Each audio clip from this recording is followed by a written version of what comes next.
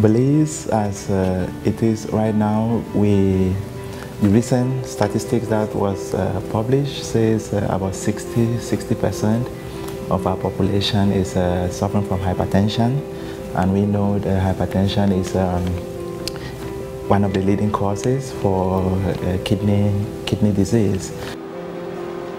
台湾的公卫医疗能量丰沛，肾脏病的防治经验丰富。 为落实2016年联合国永续发展议程中确保健康生活的目标，国合会与亚东纪念医院携手合作，在地球的另一端埋下一颗预防保健种子。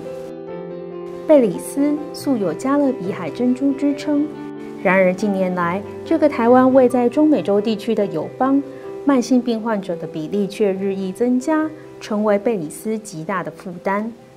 是因为他们目前就是洗肾的人口有在增加，那他们的资源又很有限，所以他们现在能够用国家的这个医疗服务提供的洗肾人口大概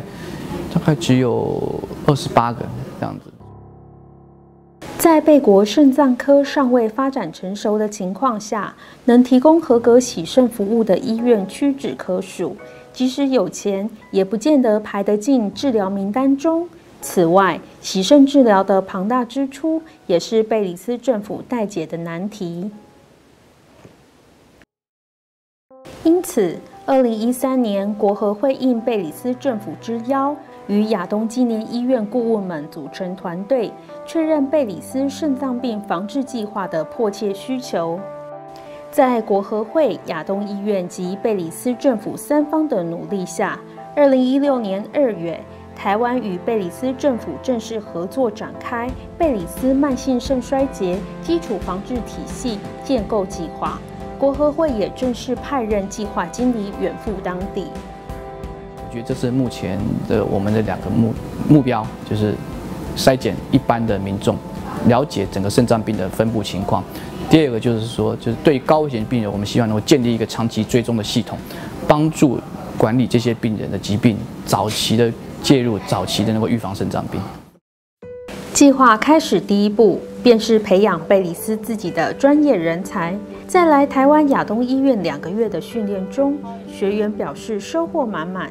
希望自己在短时间内能把所需的知识技能完全吸收。The training that we're receiving is, as as mentioned before, uh, related to chronic kidney disease.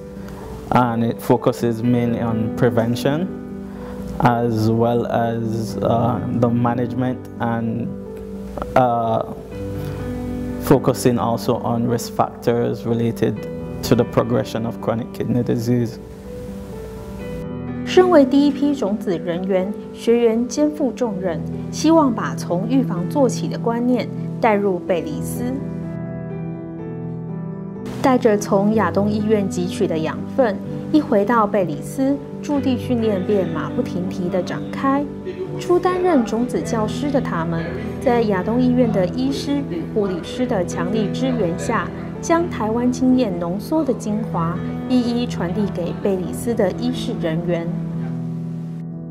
国合会自二零零六年起扮演国际医疗援助资源整合平台，致力促成公司部门伙伴关系。这个计划虽然刚起步，已成功唤起贝国政府与民间正视肾脏病防治的重要。相信在国合会、亚东纪念医院的协力合作下，这颗台湾种子能在贝里斯逐渐成长茁壮，并在加勒比海地区开枝散叶。